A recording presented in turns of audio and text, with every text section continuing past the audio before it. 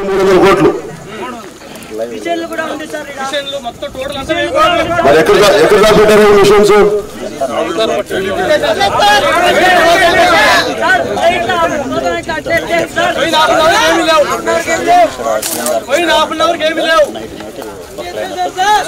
రాత్రికి రాత్రి ఏమి రాకముందే పాప- చ- చదవంగా ఉండేదాన్ని గుంట తీసేసి పెట్టి రాత్రికి ముఖ్యమంత్రి గారు వస్తారని చెప్పి గుంటతో వేసి దానికి పూల పూలు చుట్టి అన్ని చేసి మీరు కథలు చెప్పారు. ప్రపంచానికి ఏం తెలుస్తాయి అంటే మొత్తం అనంతపురం కరువు అయిపోయింది. అక్కడ వర్షాలు అవసరం లేదు రైన్ గెలుతోటి మొత్తం కొట్టేస్తే మొత్తం కరువు కాటకాలు ఆ టైపు కథ ఇచ్చారు బయట మనకు జరుగుతున్న అన్యాయానికి మనం ఎదురు తిరగకపోతే వాళ్ళు ప్రశ్నించకపోతే ఈ మార్పు ఇంకొక రాదు. ఇక్కడి నుంచి వలస వెళ్ళిపోవాల్సిన అవసరం ఉంది ఇక్కడి నుంచి దూరం వెళ్ళిపోయి బెంగళూరుకో కేరళకు పారిపోవాల్సిన అవసరం ఉంది దాదాపు ఇంత- ఇన్ని- ఒక్కొక్క గ్రామంలో మనకి ఇందాక చెప్తా ఉన్నారు ఎనభై శాతం వలస వెళ్ళిపోయారు ఒక్కొక్క గ్రామాలు. ఇవన్నీ ఆపడానికి ఎందుకంటే మేము ఎందుకు ఇంత చిత్తశుద్ధిగా చేస్తున్నాం? అలసిపోయే రాజకీయ వ్యవస్థతోటి. కొద్దిమంది బెదిరించడాలు. ఎంతకాలం బెదిరిస్తారు ఎవరినైనా సరే. వంద మంది గుండాలు పెట్టి మీరు తెలిసి చనిపోతాం మీరు లక్ష మంది రోడ్లు మీకు సపోర్ట్ చేస్తారు. ఎంతమంది మోసం చేయొచ్చేలా నిజంగా అలసిపోయాం విసిగిపోయాం. రాష్ట్రం విడిపోయిన తర్వాత కొంచెం బాధ్యతగా ఉంటాయి రాజకీయ వ్యవస్థను చూసాం మనల్ని అక్కడ తరివేశారు అక్కడి నుంచి తెలంగాణ నుంచి. వాళ్ళు వాళ్ళు కొట్టుకుంటా ఉన్నారు ఇప్పుడు. అలాగే మనకి ఇక్కడికి వచ్చేస్తే పార్టీలు పార్టీలు అని చెప్పేసి కులాల వారిని విడగొట్టి మనుషుల్ని. ఏదైనా మాట్లాడితే మళ్ళీ మనం అందరికీ నష్టం ఇక్కడ నీళ్ళు లేకపోతే అనంతపురంకి. అందుకని ఎక్కడ జనసేన ఎందుకున్నామంటే ఇది కూర్చోబెట్టి ఓట్లకు దీనికి కాదు. వ్యవస్థ మారటానికి నిజంగా ఒక బలమైన పోరాటం చేయకపోతే మార్పు రాదు. అని ఏ ఊరు కూడా చెప్తా ఉన్నారు పొద్దు నుంచి పోతా ఉంటాయి పెద్దవాళ్ళు నమ్మడానికి కొంచెం కష్టపడతారు. యువత మీకు తెలుసు నలుగురు నమ్ముతారు? ఎందుకు ఇంత దూరం నమ్ముతారు? నేను మోసం చేయడానికి మీకు తెలుసు నేను ఎలాంటి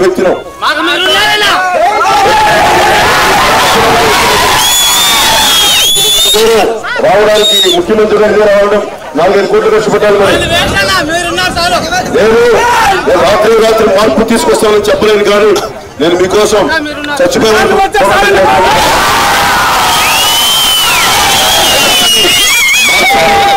పోరాటం చేయాలి. ఒక్క రోజులో మార్పు కాదు ఇది.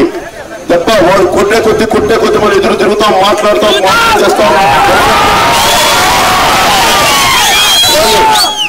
ఇది అనంతపురం కరువుకు సంబంధించి నేను మోసం చేయడానికి రాలేదు. కష్టాలైనా సరే మా అందరూ తెలుసుకొని తక్కువ వర్షపాతం ఉన్న నేల మనకి చిన్నపాటి ప్రాంతాలు ఇది.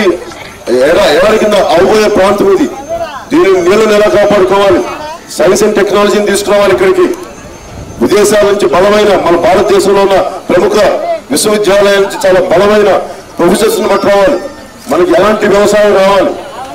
క్యాలెండర్ ఇయర్ లేదు ఇందాక రైతులతో మాట్లాడుతూ ఉంటే పొద్దున ఎప్పుడు నీళ్ళు వదులుతారో తెలియదు ఏ పంట వేసుకోవాలో తెలియదు. అద్రినివా కాలువ అన్నారు సార్ ఇంతవరకు ఏది లేదు సార్ ఇక్కడ. ఎవరు లేరు అది కూర్చోబెట్టారు వాళ్ళకి ఏదో వాళ్ళు డబ్బులు వస్తే పనులు చేస్తారు తప్ప రైతులకు పనులు ఇచ్చే పనులు చేయరు.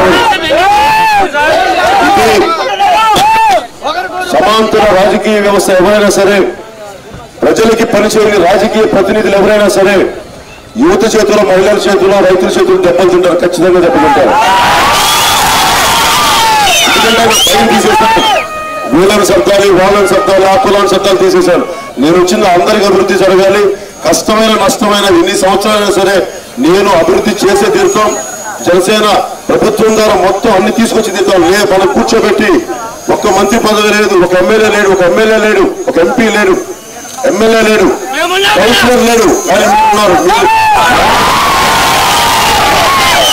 ఎందుకంటే వ్యవస్థ మారకపోతే నిజాయితీ పడిన అధికారుల దగ్గర నుంచి ప్రభుత్వ అధికారుల దగ్గర నుంచి తీసుకెళ్ళి రూపాయలు నిలబడేయటం వాళ్ళకి అండగా ఉన్న అధికారులు పెట్టడం ఇవన్నీ వ్యవస్థను నిర్వీర్యం చేయడమే మేము బలమైన వ్యవస్థని తీసుకొచ్చే ప్రభుత్వాన్ని తీసుకొస్తాం. దాంట్లో భాగంగా కేవలం మీకు మద్దతు పలకడానికి ఒకదానికే కాదు ఇక్కడ ఏం జరిగింది అనేది శిలాఫలకాలు వేసి రైన్ గల్లు షోలు షోలు పుట్టప్ చేసి వందల కోట్లు వేల కోట్లు దోపిడీలు చేసి ఇవన్నీ మాట్లాడడం ప్రజలకు తెలియాలి. ప్రపంచానికి తెలియాలని చెప్పి నేను ఈ- రోజున మన పుట్టుబడికి వచ్చాను. నేను అందుకనే మీరు ఓట్లు వేస్తారో లేదో మీరు నాకు తెలియదు కానీ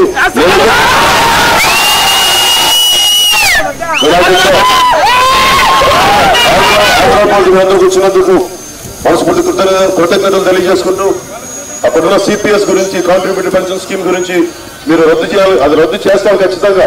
ఎందుకంటే మన పరిధిలో ఇక్కడి నుంచి స్టేట్ ప్రభుత్వం రాగానే సెంట్రల్ గవర్నమెంట్ పంపిస్తాం.